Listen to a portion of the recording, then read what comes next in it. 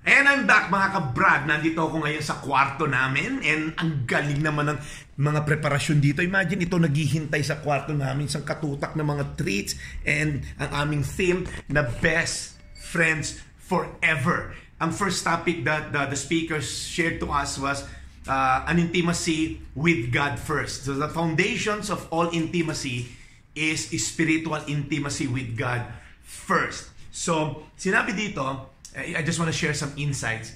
As long as you put Jesus in your marriage, you will experience heaven here on earth. Wow, how about that? So pagka si Jesus ay center of our marriage, we can actually experience a bit of heaven here on earth. And then sinabi din, senior din, I just want to share some insights dito, intimacy was initiated by God. When God created Adam and Eve, His intention was to have a relationship with Him. But then again, we know that that uh, intimacy was also destroyed in the Garden of Eden when sin entered the world.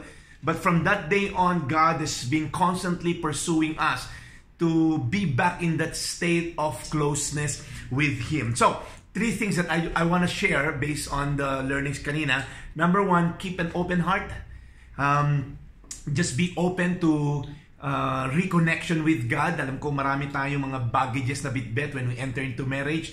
But then again, sinabi nung uh, speakers namin, um, uh, have the heart of humility, knowing that there are a lot of rooms for improvement. Number two, pursue Jesus more than our marriage. Wow!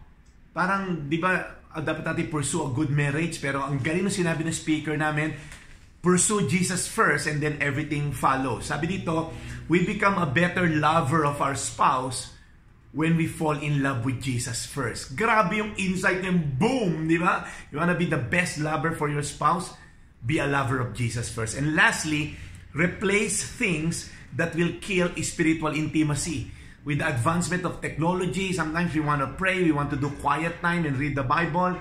Pero sa daming mga kaagaw ng atensyon natin, you're doing quiet time and then biglang merong notification ng Twitter or Facebook. Before you knew it, nakababad ka na sa Twitter mo, sa Facebook, hindi ka na nakababad sa Bible. So, replace all those things that will kill that spiritual intimacy with God. So, guys, uh, tune in for more uh, uh, insights. I'll be sharing with you continually yung mga natututunan ko dito sa couples retreat na to.